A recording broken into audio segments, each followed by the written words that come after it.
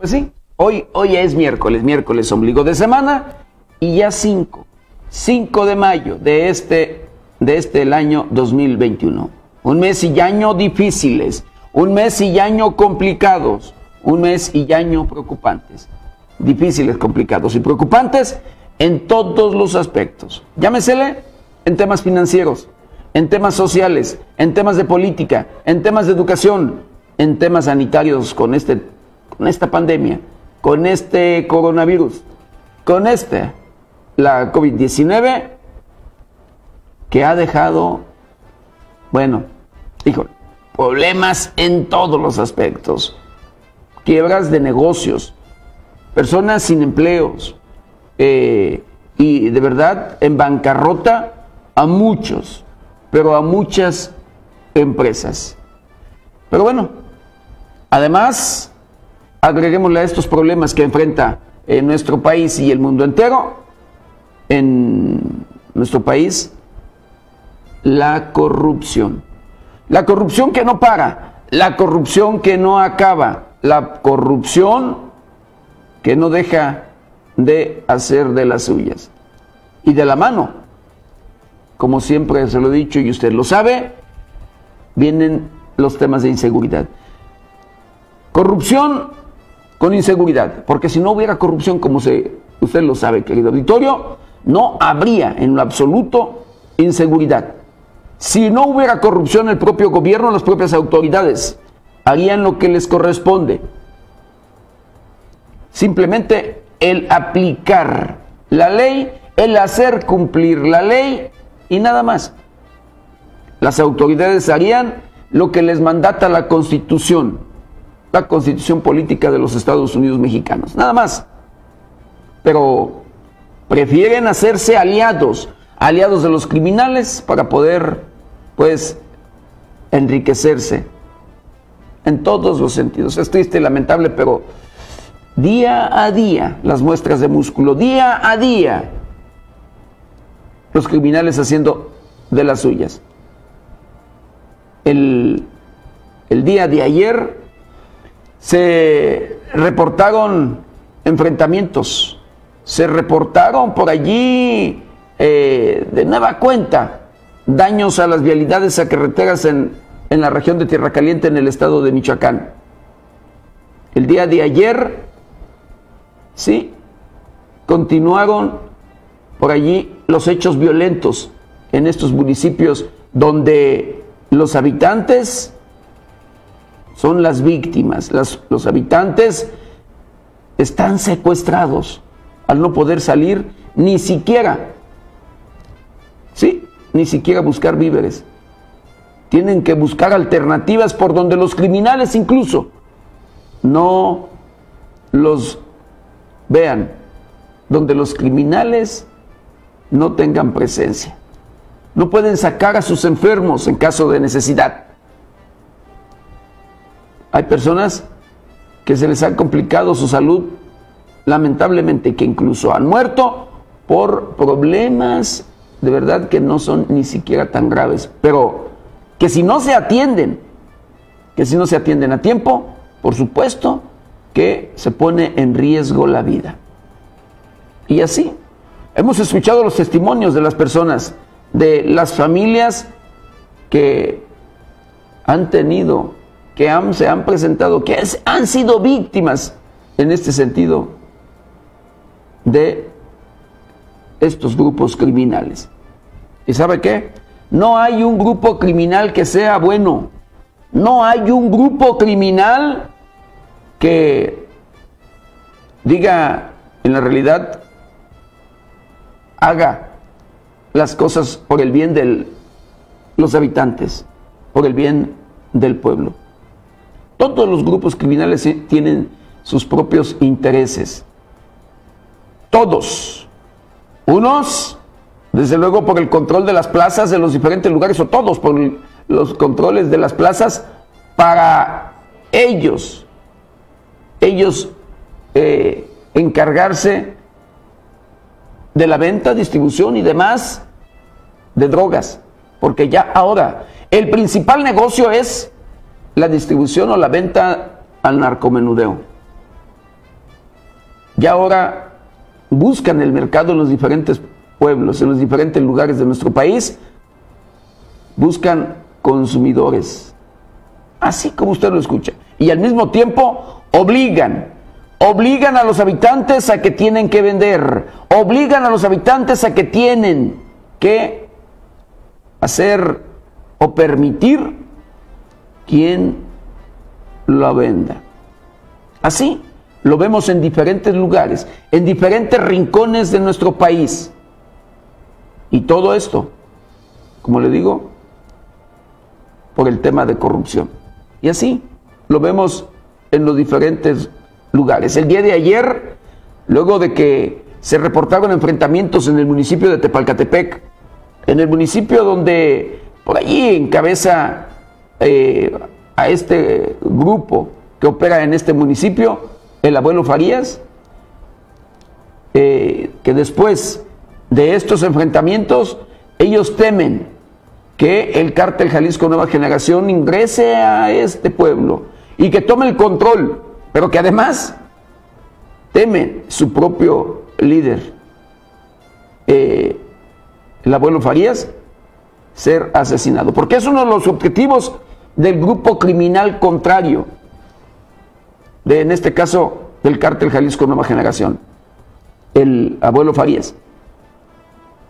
Y así, ellos, luego de este enfrentamiento, luego de que temen que incursionen en su pueblo, pidieron por segunda vez, cuando menos escuche usted, por segunda vez el apoyo, y vuelvo y repito, cuando menos el apoyo del gobierno, el apoyo de las autoridades para que intervengan, vayan y no permitan que este otro grupo criminal del cártel Jalisco Nueva Generación ingrese a Tepalcatepec. Y allí, allí vemos de igual manera como en los diferentes lugares, por supuesto, luego el miedo.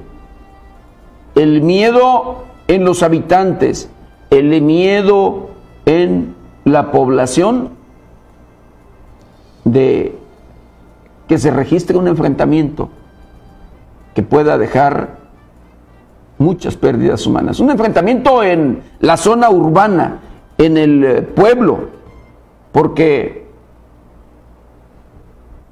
los grupos, un grupo criminal que opera allí, como le digo, el del abuelo Farías, está en plena zona urbana y no sale de allí y el otro, el otro grupo criminal quiere incursionar para ir por este objetivo. Así como usted lo escucha. Lamentablemente, el que paga los platos rotos, lamentablemente el que paga las consecuencias es el pueblo. Así como usted lo escucha, un pueblo ganadero, un pueblo agrícola, un pueblo trabajador, un pueblo que de verdad incluso se ha visto afectado en muchas de las ocasiones, por, en todos los sentidos, por el tema precisamente de sus ventas, el buscar comercializar como siempre lo han hecho sus productos. Un pueblo que ha sido afectado en su economía por estas por estas actividades criminales que se registran en aquella región así como usted lo escucha. Es triste y lamentable, pero bueno, una realidad, una realidad que se vive allá en, en la región de Tierra Caliente y en los diferentes rincones de nuestro país. Michoacán es uno de los estados que ocupa los primeros lugares en temas de corrupción. Michoacán, como usted lo escucha, es uno de los estados que por este tema ocupa de igual manera los primeros lugares en temas de inseguridad. Lamentablemente, así las cosas. Y ahora, el día de hoy, vemos, escuchamos por uno y otro lado a los diferentes actores políticos el hablar, prometer, eh, comprometerse a combatir el tema de corrupción y el tema de la inseguridad.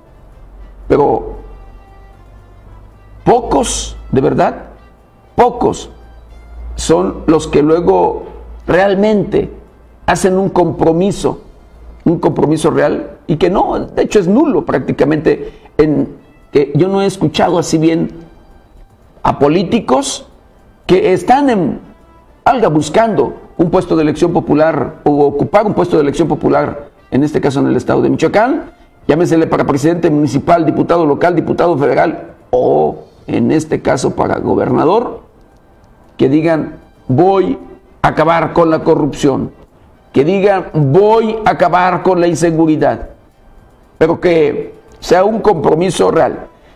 Todos, todos traen sus ejes allí de campaña, sus ejes, sus principales ejes para eh, pues hacer proselitismo en este, en este proceso electoral.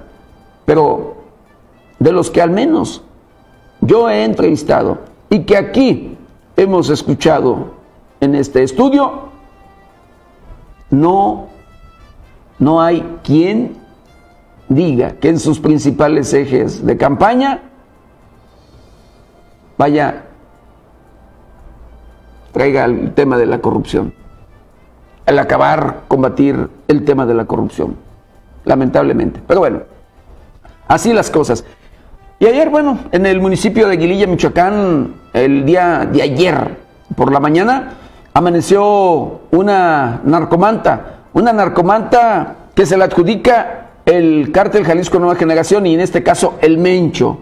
El Mencho, el líder, el líder de este, de este grupo criminal que dice, va, ya está, ya está presente allí y va a controlar, va a acabar con los enemigos.